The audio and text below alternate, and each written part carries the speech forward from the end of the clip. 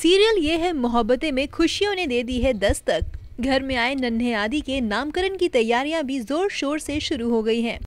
जी हाँ घर में आए नन्हे मेहमान के नामकरण की इशिता ने भी कर दी है अनाउंसमेंट सुनिए इशिता से ही कि आखिर कब होगा नन्हे आदि का नामकरण?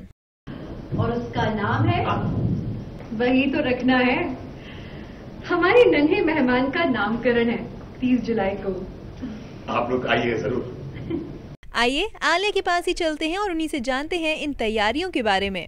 गेटअप इसलिए है ये तैयारी जो है अभी नामकरण की चल रही है सो बेबी का नाम रखा जाएगा आज। और नाम जो है सो सबने तो बहुत सारे नाम सोच रखे हैं बट ऑब्वियसली जो माँ है वही रखेगी तो रोशनी का इंतज़ार है वो आएगी और बच्चे का नाम डिसाइड करेगी। आलिया ये भी बता दीजिए कि रोशनी कहाँ चली गई है? खुशियों के बीच अचानक से टेंशन का माहौल क्यों छा गया? एक्चुअली हम uh, सब रोशनी को ढूंढ रहे थे। She was little feeling unwell so वो निकल गई वहाँ से तो हमें लगा वो जाके रूम में रेस्ट कर रही है। बट देन uh, हमने पूरा घर ढूंढा। uh, मैंने अभी सीन किया जिसमें मैं हर जगह ढूंढ रही हूँ but she is not there any way so so I think Roshni घर छोड़ के जा चुकी है।